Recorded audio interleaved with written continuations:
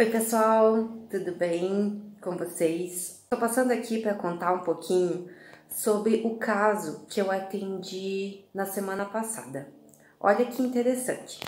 A paciente chegou para mim, ela estava com muita dor no lado direito. Então a dor dela era no abdômen, no lado direito, e que também ia para a parte lateral da coxa direita.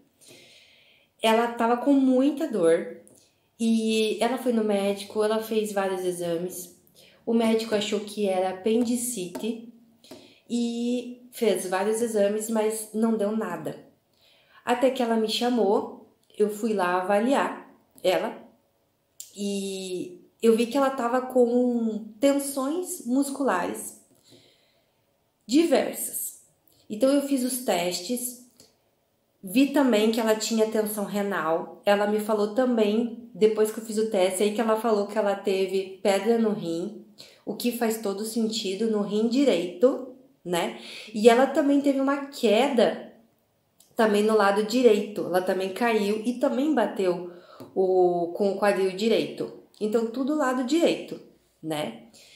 E aí eu fazendo a avaliação, eu vi em primeiro lugar que tinha uma avaliação, uma tensão renal, né? E também a, uma tensão em toda a cadeia muscular posterior, que é toda essa parte de trás, através dos testes. Então, o que, que eu fiz? Eu peguei, comecei a soltar, a soltar o músculo quadrado lombar dela, que é bem ali na lombar. Então, eu soltei por conta da tensão renal dela. Então, eu soltei um pouquinho.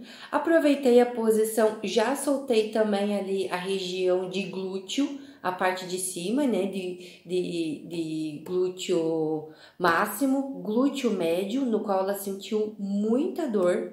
E também eu já fui pro lado.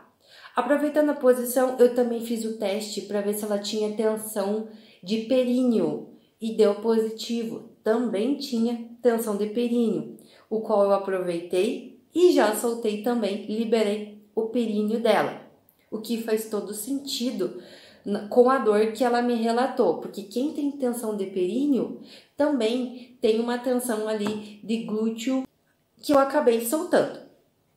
Aí eu aproveitei e pedi para ela é, levantar novamente e refiz o teste. E deu que ela já foi mais para já ficou mais flexível, já soltou mais essa parte de trás e aliviou a dor da de trás, ali da tensão renal e também ali no glúteo. Mas ela falou que ainda estava com dor. Então o que que eu fiz? Eu fiz outros testes e aí eu vi que ela estava com tensão na parte anterior ali da barriga, né? Que a gente chama é na parte tem um músculo chamado iliopsoas. E foi nesse esse músculo que eu fui trabalhar. Né, eu fiz alguns exames também nela. Eu vi que ela tinha também é, uma, uma, uma região de, de, de primária da dor que deu bem aqui no, no peitoral esquerdo dela. Aí eu soltei também o peitoral esquerdo dela, juntamente com o iliopsoas, que é esse músculo que ele fica aqui na barriga. Que fica aqui, ó. Bem aqui, ó. Na barriga. Que, pasme, né? Parece que é uma apendicite, né? E aí eu comecei a soltar. Quando eu fui soltar esse músculo, ela começou a chorar. Tamanho era a tensão. Ela também fez é, cesárea né? Ela fez duas cesáreas. E o que também, né, é, dificulta também ali, piora mais a questão de tensões.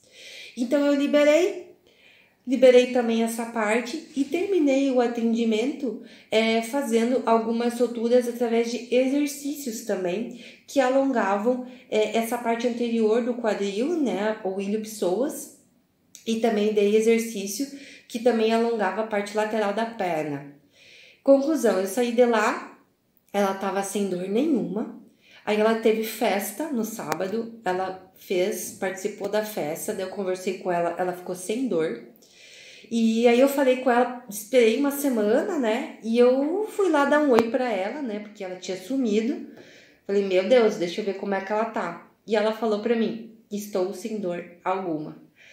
Então, pessoal, eu tô gravando esse vídeo para dizer para vocês que a fisioterapia bem feita dá resultado, mas tem que ser bem feita.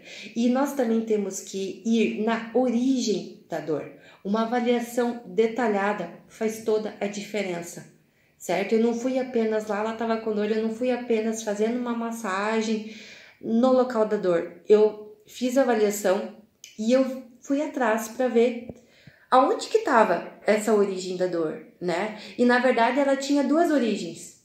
A primeira origem era renal, eu liberei a renal, e a segunda origem era o músculo ilho-psoas, ou seja, o quadril dela a gente chama que estava um quadril parasitado, como diz a minha professora Janaína Cintas. Né? Então, um quadril parasitado. É óbvio que ela estava sofrendo muito, ela estava com muita dor e eu liberei. O trabalho não terminou por aí, indiquei ela para o Pilates e ela vai ter que dar continuidade nisso com Pilates, porque senão pode voltar. Mas detalhe também, tinha um, um grande fator emocional ali, porque ela teve grandes problemas na família, né? E morte também na família. Mas é, eu tô muito feliz porque eu consegui ajudar essa paciente, no qual outros profissionais não conseguiram ajudá-la. Pessoal, se você quiser uma consulta comigo, eu vou deixar é, o meu contato aqui no link da bio. Um abraço, tchau, tchau!